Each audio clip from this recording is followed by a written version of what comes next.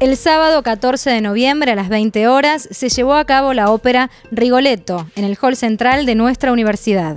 Esta propuesta contó con la presentación del barítono Ernesto Bauer y la Orquesta Sinfónica Municipal de Florencio Varela con entrada libre y gratuita. Se enmarca dentro del ciclo Música porque sí y fue organizado por el Centro de Política y Territorio de la Universidad Nacional Arturo Jaureche y la Municipalidad de Florencio Varela. La verdad es que volver a hacer esto implica un montón de, cosas y un montón de, esfuerzo y un compromiso muy grande justamente con la sociedad, con los estudiantes de una universidad tan importante como es esta, La Jaureche, un municipio como Florencio Varela, que tiene una orquesta municipal, una orquesta sinfónica municipal, que hace pensando tiempo atrás, no, hace una década no existía, no entraba en la cabeza que los municipios, que los chicos jóvenes que resultaban de las orquestas juveniles, infantos juveniles, tuvieran o tengan un espacio para acceder a una orquesta ya casi profesional, o porque no profesional.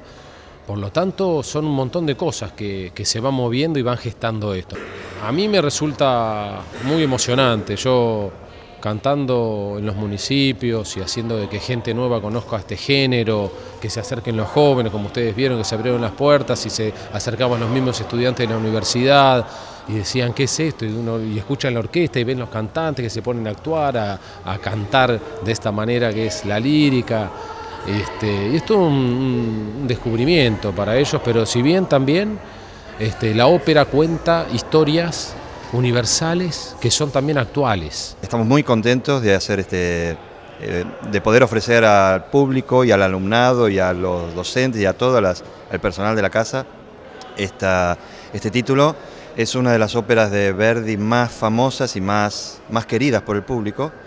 Um, y, y, realmente estamos contentos de que, también de que la orquesta de Varela, la Orquesta Municipal de Varela, pueda um, integrarse a este ámbito y pueda um, realizar esta acción conjunta, ¿no? esta acción cultural, porque traer ópera a la universidad es, uh, para mí es un poco unificar dos, dos polos de cultura, ¿no?